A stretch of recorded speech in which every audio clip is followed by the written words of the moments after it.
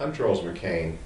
The book I'm going to review now, Battleship Bismarck, A Survivor's Story, is really, if you're going to read one book on the Bismarck, uh, this one is the one to read. And the reason is, it's the only one written by one of the handful of men who survived uh, the sinking of the Bismarck. And while there are many other books, and I'll review them as time goes on, that uh, give a more scholarly point of view, there is nothing that can give the point of view of one of the people who survived. Uh, he was the highest ranking officer to survive, and he was not a very high ranking officer. I think he was a lieutenant. And uh, it's in many ways a tragic story.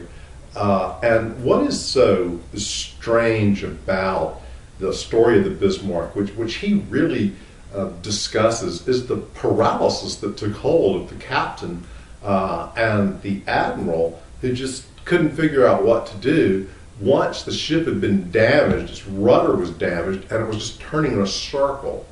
And they were sort of like, well, what are we going to do?